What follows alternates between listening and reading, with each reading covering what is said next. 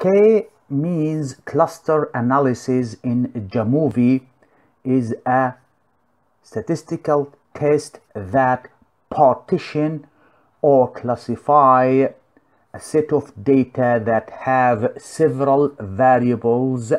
Those variables are measured as or at uh, scale uh, or ordinal and uh, cases or participant uh, that range from few hundred or hundreds to thousands. The test will classify and arrange those data into groups or clusters and in each cluster a collection of uh, observations or data points that have similar similarity are arranged in one cluster and the uh, distance of that data or this data point from the uh, center of the cluster which is the mean uh, is calculated and each cluster is distance from another cluster and the data set in one cluster is dissimilar from the data in another cluster. Here in Jamovi, I will insert data uh, collected for 3000 as shown here clients or customers up to 3000 here. Uh, those 3000 cases uh, are placed in this data view in Jamovi and there are several variables.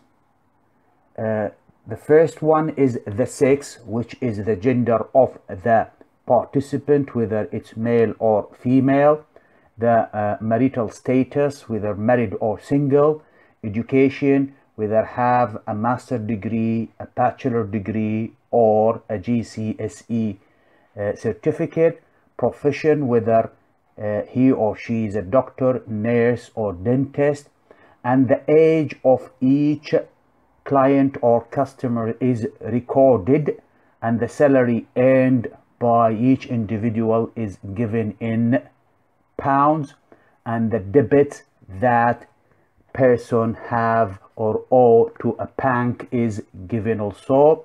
A variable uh, that uh, include in it a family member members or the number of family members is uh, also included. And the years of uh, um, experiences and working uh, in a profession.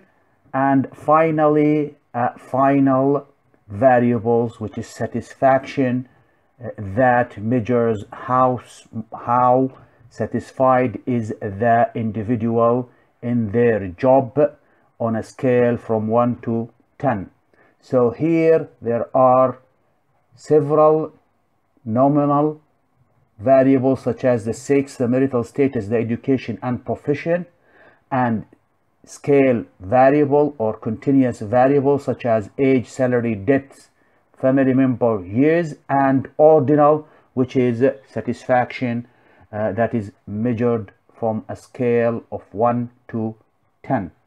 To classify and partition this large set of data that contains six variables here five um, scale and one ordinal and the 3000 participant into clusters. Then the k means cluster analysis will be performed in Jamovi and to do that first of all uh, if you don't have the function for the snow cluster then download that by clicking on the modules here the plus sign and then look for the snow cluster and download and install the snow cluster. Click on the snow cluster, click and select the k-means clustering methods. A new window is appearing here. In the new window here, uh, select the five scale variables and the satisfaction and move it to the variable box.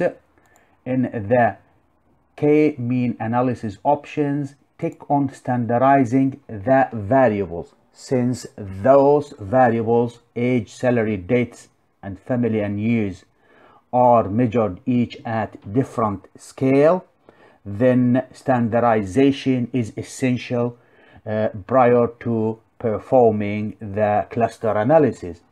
And z score or standardizing on a z score is performed by ticking on the standardized variable. For the number of cluster select 3 and for save click on cluster number. In the table of clusters uh, as shown here three clusters cluster 1 2 and 3 the age shows that cluster number 1 have the oldest individual. Cluster 2 is the intermediate age. And cluster 3 has the youngest individual in it. The salary cluster 1 has the highest salary then the second highest salary is in cluster 2 and cluster 3 has the lowest salary or participant that earn lowest.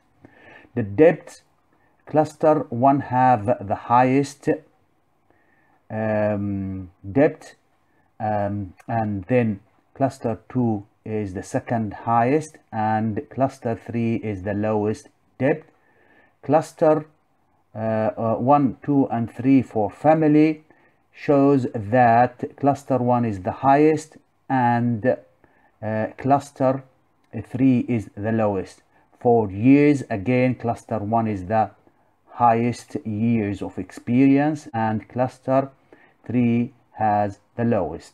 And similarly satisfaction um, variables uh, cluster 1 have the highest and cluster 3 has the lowest satisfaction once you tick on the cluster number a cluster number is given to each individual participant or case. In this case, participant number one is assigned to cluster one and participant number two is assigned to cluster number three and case number three is assigned to cluster one. So all the 3000 cases or clients has been assigned or arranged or classified into one of these three clusters. We could also go back again and change the number of clusters into four clusters and click enter. The data is rearranged or classified into four clusters and the clustering table is given here and the centroid table is generated in this table. So this is the way to perform k-means clustering in Jamovi